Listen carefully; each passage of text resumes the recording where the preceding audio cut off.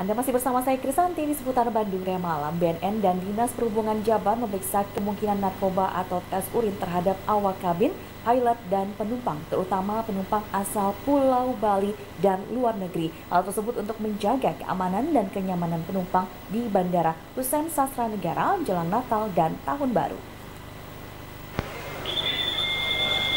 Razia dan tes urin yang digelar Badan Narkotika Nasional dan Disub Jabar sempat membuat kaget para penumpang di Bandara Hussein Sastra Negara Bandung Kamis siang.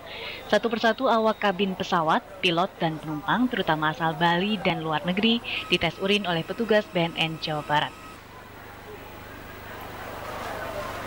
Selain untuk menjaga keamanan dan keselamatan penumpang pada libur Natal dan Tahun Baru, razia dan tes urin ini untuk mencegah dan mempersempit ruang gerak peredaran narkoba melalui Bandara Hussein Sastra Negara Bandung.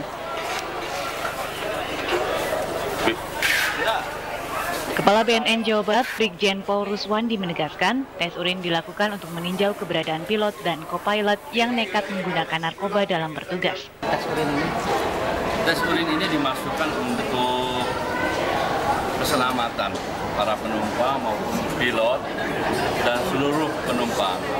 Karena eh, tes urin ini dalam rangka melihat apakah ada eh, indikasi eh, pilot maupun co-pilot yang memakai narkoba.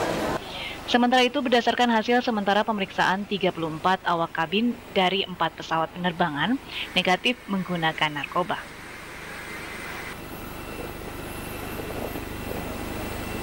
Yuwana Kurniawan, Bandung TV.